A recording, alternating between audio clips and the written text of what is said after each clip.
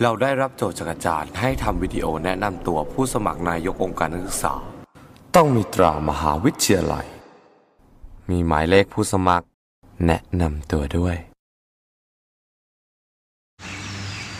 พีรวิทย์กายพันเลิศเบนซ์สุรวุฒิสามีตรง ประวัติ BBA IBM 3.15 เด็กอาร์ตอิง3.39 สมาชิกในทีม